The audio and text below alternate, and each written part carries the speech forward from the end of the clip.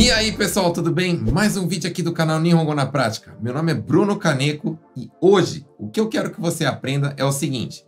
Vamos supor que eu quero falar assim, ó, não me compreenda errado, não me entenda mal. Como que fala isso em japonês? Você vai falar assim, ó, gokai shinai de, né? Gokai shinai de, né? Não me entenda mal.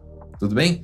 Agora que você já sabe, aproveita, curte o vídeo, marca um amigo seu aí e a gente se vê no próximo vídeo, pessoal. Tchau, tchau.